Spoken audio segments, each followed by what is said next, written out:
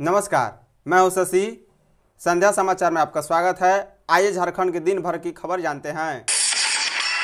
ED ने CM Hemant को फिर भेजा नोटिस 24 अगस्त को बुलाया। ईडी ने झारखंड के मुख्यमंत्री हेमंत सोरेन को दूसरा समन भेजा है। ईडी ने सोरेन को 24 अगस्त को रांची जोनल ऑफ़िस में पूछताछ के लिए पेश होने को कहा है। सूत्रों से शनिवार को मिली जानकारी के अनुसार ईडी के अधिकारी, मुख्यमंत्री हेमंत सोरेन से उनके और उनके परिवार की संपत्तियों के बारे में भी पूछताछ करेंगे। इससे पहले 8 अगस्त को भी ईडी ने मुख्यमंत्री हेमंत सोरेन को समन भेजकर 14 अगस्त को उपस्थित होने को कहा था, लेकिन वो ईडी के समक्ष पेश नहीं हुए थे। उन्होंने ईडी को पत्र लिखकर कहा था कि सम्मन वापस ले, मैं कानूनी सलाह ले रहा हूँ। मुख्यमंत्री ने लिखा था कि आपका इस मामले में किया गया समन गैर कानूनी है, इस पर वे कानूनी सलाह लेकर ही आगे बढ़ेंगे। इससे पहले ईडी ने सोरेन को समन भेजकर 14 अगस्त को पूछताछ के लिए बुलाया था। वहीं पिछले साल 3 नवंबर को भी अवैध खनन मामले में भी सीएम को केंद्रीय एजेंसी ने समन भेजकर बुलाया था। बाबूलाल का सरकार पर हमला, दस हज़ार में काम करने वालों की पीड़ा महसूस करे हेमंत जी। भाजपा प्रदेश अध्यक्ष बाबूलाल अमरानी ने फिर से हेमंत सरकार पर हमला किया है। इस बार सरकार द्वारा सहायक पुलिसकर्मियों को थमाए गए नोटिस को लेकर बाबूलाल ने हमला किया है। भाजपा प्रदेश अध्यक्ष बाबूलाल मरांडी ट्वीट पर सक्रिय रहते हैं। यहाँ से हेमंत सरकार पर हमला करने का कोई भी मौका नहीं छोड़ते। बता दें, इस बार हेमंत सरकार पर सहायक पुलिसकर्मियों की सेवा विस्तार को लेकर बाबूलाल ने प्रहार किया है। बाबूलाल ने हेमंत सरकार पर सहायक पुलिसकर्मियों की सेवा समाप्त करने का आरोप लगाया है। बाबूलाल मरांडी ने अपने ट्विटर हैंडल के माध्यम से एक बार फिर से हेमंत सरकार को घेरने का प्रयास किया। बाबूलाल ने ट्वीट किया है कि एक तरफ़ हेमंत सोरेन कोल्हान प्रमंडल में रोज़गार मेला लगा रहे हैं, ऑफ़र लेटर वितरित कर रहे हैं, वहीं दूसरी तरफ़ वह सहायक पुलिसकर्मियों की सेवा समाप्त करने का नोटिस थमा रहे हैं। प्रश्न चिन्ह देते हुए आगे बाबूलाल मरांडी ने पूछा है कि ये कहाँ का इंसाफ है? एक तरफ़ आप नियुक्ति पत्र बांटने का ढकोसला करते हैं, और दूसरी तरफ़ हज़ारों युवाओं को बेरोजगार कर रहे हैं। गढ़वा के ग्रामीणों को नहीं मिल रहा मुआवजा। गढ़वा एन एच पचहत्तर बाईपास सेक्शन चार में सड़क निर्माण कार्य करने के बावजूद मुआवजा नहीं मिलने पर शुक्रवार को नारायणपुर के ग्रामीणों ने अंचल निरीक्षक सुशील कुमार तिवारी के समक्ष हंगामा किया। हंगामा के बाद वहाँ से अंचल निरीक्षक वापस लौट गए। ग्रामीणों ने कहा है कि गढ़वा प्रखंड के नारायणपुर के खाता संख्या बयासी एवं प्लॉट संख्या 533 की ज़मीन पर उन लोगों का पुस्त दर पुस्त दखल कब्जा चला आ रहा है। यह ज़मीन गैर मजरुआ है, लेकिन उन सब का डिमांड चल रहा है और लंबे समय से रसीद भी कटाते आ रहे हैं। इस ज़मीन के मुआवजा के लिए जाँच के बाद उन लोगों के नाम का गजट प्रकाशित किया गया और नोटिस भी निर्गत किया गया था। निर्गत नोटिस के आधार पर उन लोगों ने तय मुआवजा लेना स्वीकार कर लिया, लेकिन सेक्शन चार के सभी लोगों का मुआवजा भुगतान करने के बाद अब एक साजिश के तहत उनकी ज़मीन को विवादित बताया जा रहा है।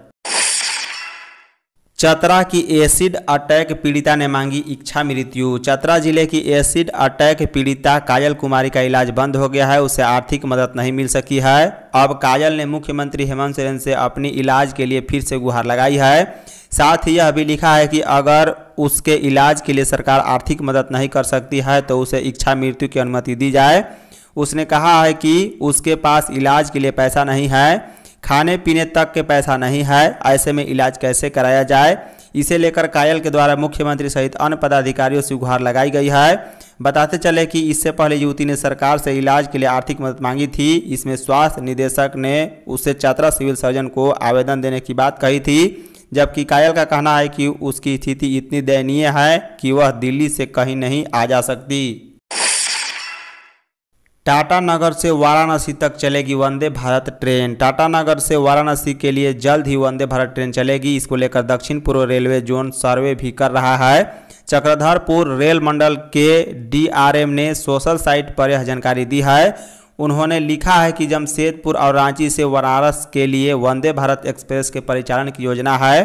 हालाँकि रेल मंत्रालय इस पर फैसला सर्वे कराने के बाद ही करेगा। जानकारी के अनुसार टाटा नगर से वाराणसी वंदे भारत एक्सप्रेस का परिचालन टाटा, पुरुलिया, मोरी, रांची, लोहरदगा, डाल्टनगंज, सासाराम, भभुआ रोड, दीनदयाल उपाध्याय, वाराणसी या टाटा से मोरी, रांची, लोहरदगा, डाल्टनगंज, सासाराम, भभुआ रोड, दीनदयाल उपाध्याय के रास्ते हो सकता है। झारखंड में बर्ड फ्लू की दस्तक, नौ माह की बच्ची मिली संक्रमित। बर्ड फ्लू के नाम से जाना जाने वाला एवियन फ्लू ने राज्य में दस्तक दे दी है। रिम्स निदेशक डॉक्टर राजीव कुमार गुप्ता ने बताया है कि रामगढ़ के संदावडीह की रहने वाली एक नौ माह की बच्ची में एच थ्री एन टू की पुष्टि हुई है। रिम्स के माइक्रोबायोलॉजी विभाग के एचओडी डॉक्टर मनोज कुमार ने बताया है कि गुरुवार को बच्ची का सैंपल लिया गया था, जिसमें एवियन फ्लू बर्ड फ्लू की पुष्टि हुई है। यह वायरस इन्फ्लुएंजा ए का सब टाइप है। देश में इसके संक्रमित मिल रहे हैं। सैंपल को एनआईवी पुणे लैब में सीक्वेंसिंग के लिए भेजा गया था। वहाँ से भी इसकी पुष्टि हुई है। बता दें कि बच्ची की स्थिति गंभीर है।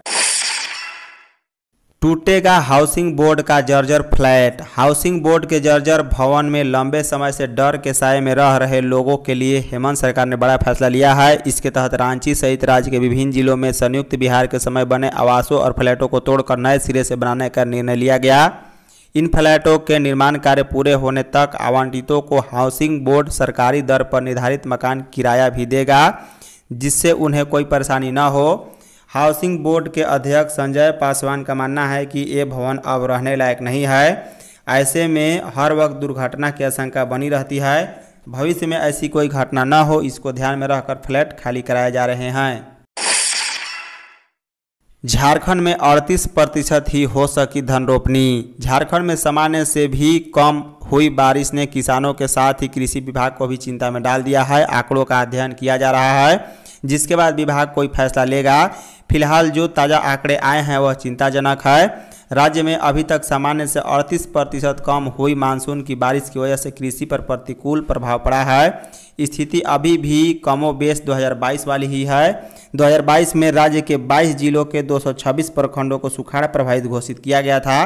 कृषि निदेशालय के अनुसार इस साल पिछले वर्ष की अपेक्षा स्थिति थोड़ी बेहतर ज़रूर है, लेकिन आच्छादन का इस वर्ष का रिपोर्ट भी चिंताजनक ही है। ईडी ने बीजेपी नेता और गवाहों समेत चार को भेजा समन ईडी ने बीजेपी नेता और गवाहों समेत चार लोगों को समन भेजा है। माना जा रहा है कि इन लोगों से साहेबगंज में हुए एक हज़ार करोड़ के अवैध खनन मामले में पूछताछ की जाएगी। बता दें, झारखंड के साहेबगंज जिला के नींबू पहाड़ी में हुए अवैध खनन मामले में एक तरफ़ जहाँ सीबीआई की एंट्री हो चुकी है, वहीं दूसरी तरफ़ मामले में ईडी की जाँच भी पूरी रफ्तार में है। ईडी ने इस बार अपनी ही गवाह विजय हंसदा, बीजेपी नेता सूर्या हंसदा सहित चार को समन जारी कर तलब किया है। सोमवार से लेकर शनिवार तक चारों से पूछताछ होने की संभावना है। झारखंड के साहिबगंज में एक हज़ार करोड़ के अवैध खनन और उससे जुड़ी मनी लॉन्ड्रिंग के केस में ईडी ने भाजपा नेता सूर्या हंसदा को भी समन जारी किया है। रांची डबल मर्डर में दोनों सगे भाई गिरफ़्तार। रांची डबल मर्डर मामले में पुलिस को बड़ी सफलता हाथ लगी है। पुलिस ने आरोपी दोनों सगे भाइयों को गिरफ़्तार कर लिया है। घटना के बाद से ही पुलिस इनकी गिरफ्तारी के लिए झारखंड बिहार में छापेमारी कर रही थी। बता दें, रांची ज़िले के चिरौंदी में हुए दोहरे हत्याकांड को अंजाम देने वाले सगे भाइयों अशोक और धर्मेंद्र को रांची पुलिस के द्वारा गिरफ़्तार कर लिया गया। रांची एसएसपी के द्वारा बनाई गई एसआईटी को यह कामयाबी हासिल हुई है। पिछले एक सप्ताह से दोनों हत्यारों की तलाश में झारखंड से लेकर बिहार तक पुलिस ने दबिश दे डाली थी। रांची के सीनियर एसपी किशोर कौशल देर शाम प्रेस कॉन्फ्रेंस कर पूरे मामले की जानकारी देंगे। तीस दिनों में पैसे डबल करने के नाम पर ठगी। रांची में सस्ते दर पर राशन देकर महिलाओं को लालच देकर ठगने वाले आरोपी को डोरंडा पुलिस ने देवघर, रिखिया थाना क्षेत्र से गिरफ़्तार कर लिया है। इस पर यह भी आरोप है कि उसने तीस दिनों में पैसे डबल करने के नाम पर लोगों से ठगी की है। बता दें, रांची के डोरंडा पुलिस ने देवघर, रिखिया थाना क्षेत्र से एक ठग को गिरफ़्तार किया है। आरोपी दुमका का रहने वाला है। उसका नाम अभियान सिंह उर्फ़ चंदन उर्फ़ सरफराज बताया जा रहा है। इस सातिर ने देवघर की कई महिलाओं को सस्ते दर पर राशन उपलब्ध करवाने के नाम पर लाखों की ठगी को अंजाम दिया है। लोगों का कहना है कि ये भली भांति महिला को भला भुसला कर कम कीमत पर राशन दिलवाने और इससे अधिक मुनाफा कमाने का प्रलोभन देता था, जिससे ज़्यादा लाभ के लालच में फंसकर महिलाओं ने कर्ज लेकर आरोपियों को पैसे दे दिए हैं। रांची में चैन स्नैचिंग गिरोह के चार सदस्य गिरफ़्तार। रांची पुलिस ने चैन स्नैचिंग गिरोह के चार सदस्यों को गिरफ़्तार किया है, जिसमें एक महिला भी शामिल हैं। ये लोग पिछले कई दिनों से रांची में काफ़ी सक्रिय थे। पुलिस ने रांची में सक्रिय चैन स्नैचिंग गिरोह का खुलासा किया है। पुलिस ने एक महिला समेत चार लोगों को गिरफ़्तार किया है। बता दें, रांची के अरगोड़ा थाना क्षेत्र से इनकी गिरफ्तारी हुई है। रांची के एसपी शुभांशु जैन के मुताबिक ये लोग रांची और आसपास के इलाके में 22 से अधिक छिनताई की घटना को अंजाम दे चुके हैं। धन्यवाद।